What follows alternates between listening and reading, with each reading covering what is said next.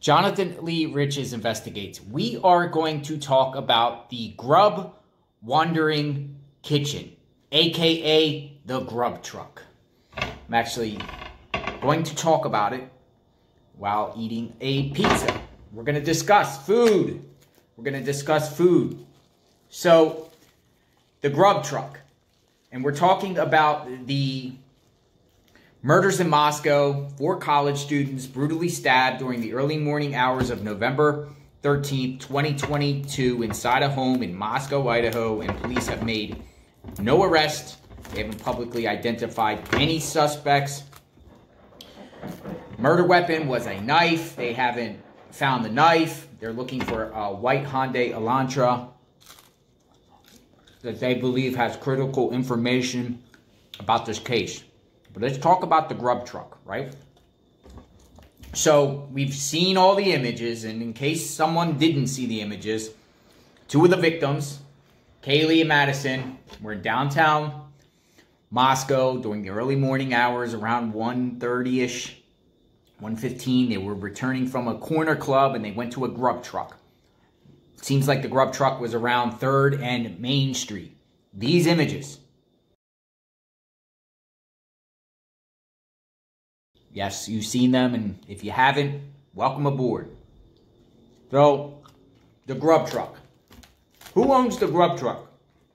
Who owns the grub truck? Well, I was doing a little digging and reading some articles and trying to learn a little bit about the owner. The owner of that grub truck is an individual by the name of John Fletcher. This guy.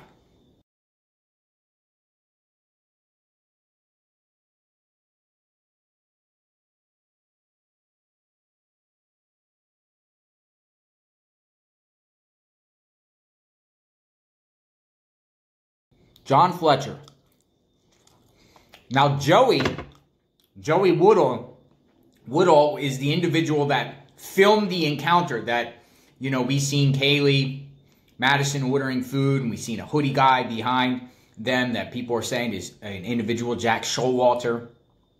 Joey Woodall, he is the manager at the time of that grub truck. But John Fletcher, he owns it.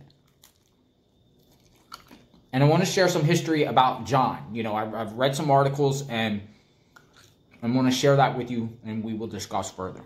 KLEW News did a report about the Grub Truck, aka Grub Wandering Kitchen, back in 2021. I'm going to read this to you. The Grub Wandering Kitchen, also known as Grub Truck, has been serving the city of Moscow since 2013 but owner John Fletcher had a rocky road to travel before its opening. I had just had my second restaurant fail miserably up in Spokane, so I was broke, said Fletcher. Broke back at square one working for a friend at South Fork Restaurant in Pullman and a whole lot of adversity of face.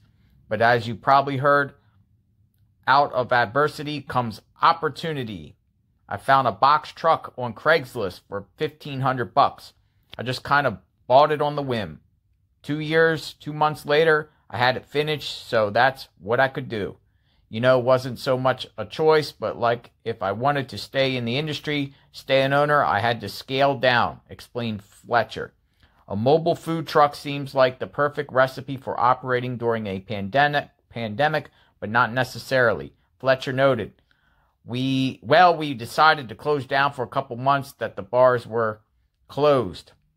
Grub truck parks right outside of the garden lounge in moscow targeting late night bar goers pass passing by as his customers but john wasn't in as much of a rush to reopen as other small business owners. Honestly i feel a little guilty about trying to like you know slam my business over the top during these times. You know i don't want to try and talk people into going out when they don't want to be out in public, said Fletcher. With this in mind, after Grub Truck shut down for four months, John made sure to make everyone feel as safe as possible. We've also required masks from everyone who stops by because even though it is outdoors, once you're up there paying, your face is about a foot or two from the cashier's face. So six or eight hundred people come through over a course of a week that makes the cashier feel pretty unsafe, added Fletcher. After experiencing going out of business with one of his restaurants, which went under during the recession, John learned his lesson and was prepared for whatever the pandemic was going to bring this time around. He survived this time because probably you know keep a good cash reserve and yeah, don't live too uh, too close to the edge of your means financially, concluded Fletcher. Grub Truck, as we said earlier, is located outside the Garden Lounge in Moscow, located at 313 South Main Street. You can check out their full menu of nine different mac and cheese flavors and other menu items on their website, www.gribtruck.com. I'm thinking that's grubtruck.com. Their current hours during the pandemic, Wednesday through Sunday, Saturday, from 10 p.m. to 1:30 a.m. So, and according to this report, John Fletcher, owner of the Grub Truck, is a veteran in the service industry and has worked in restaurants across the country. The owner also runs another food business, Peekaboo, on South Hill in uh, Spokane since 2005 with his sister and is still going strong. While talking about the food truck, he also added, in general, it's not very difficult. It's just kind of deciding what my favorite foods are and trying to make the best version of it that I can. The truck starts working at 11 p.m. and winds up till the last customer goes off on the 500 block of South Main Street in Moscow on Thursday, Friday, and Saturday nights. The truck also has a lot of delicious dishes on its menu, including five cheese mac, mac of the week, berry Nutella cheesecake burrito. According to Edible Idaho, he was also popular for bringing Twitch platform to his business. Through this, Fletcher has tried to stream customer experiences to the public by placing two cameras inside his truck and two cameras outside to stream customers' interactions.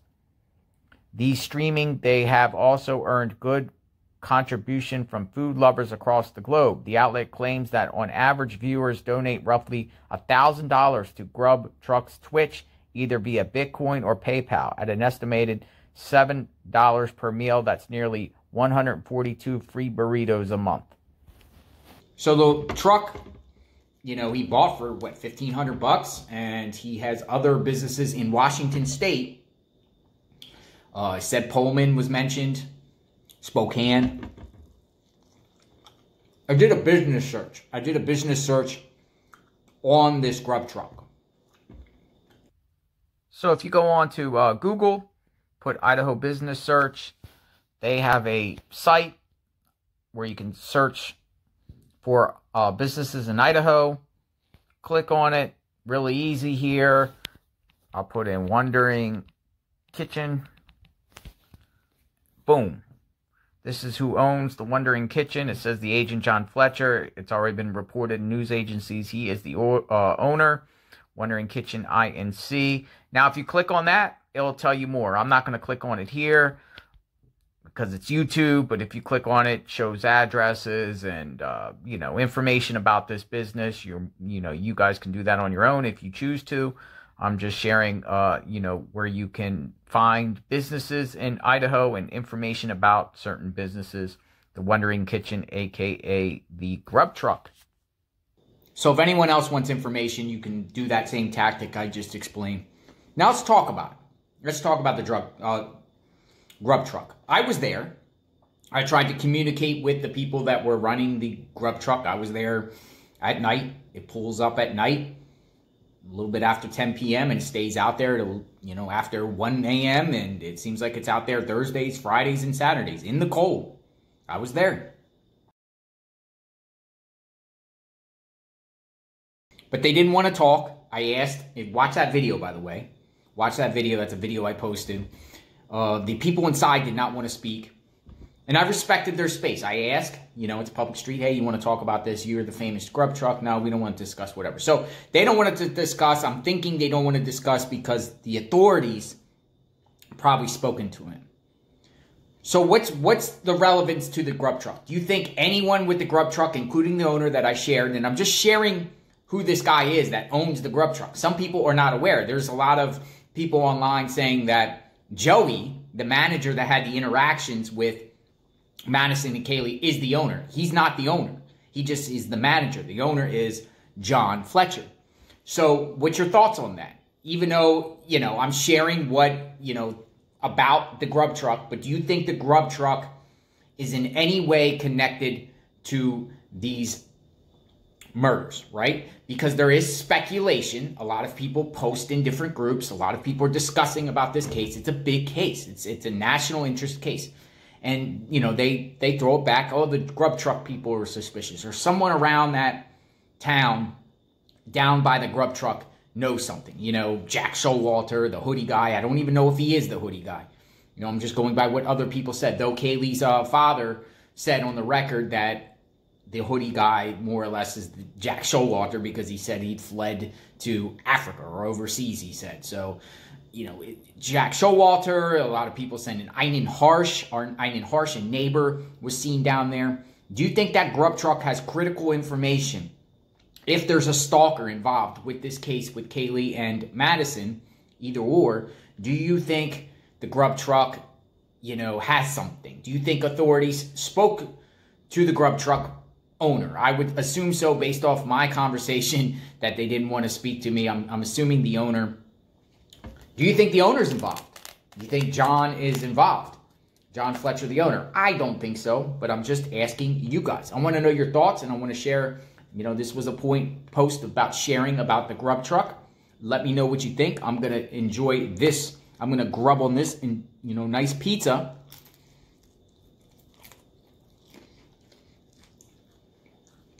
delicious. Covering this case at all angles, no stone left unturned. If you want, you know, analysis, boots on the ground analysis, check out my videos. I was there. Seeing, being there is a lot different than just analyzing it over the internet. You know, when I was covering this case at the beginning stages for the first few weeks, I wasn't there. But as soon as I went there, it just takes it to another level and a different perspective in my you it's different. So if you want some, uh, you know, analysis there, and I plan to go back too, definitely subscribe to my channel, like, hit the notification button. I'll be posting more videos soon. Praying for the victims' families, praying for the community. It was a ghost town when I was there in Moscow. Now that could be because of the holidays and it's college town, whatnot, but nobody's around. But there was some people ordering food from the grub truck. Everyone be safe. God bless. Eat well, my friends.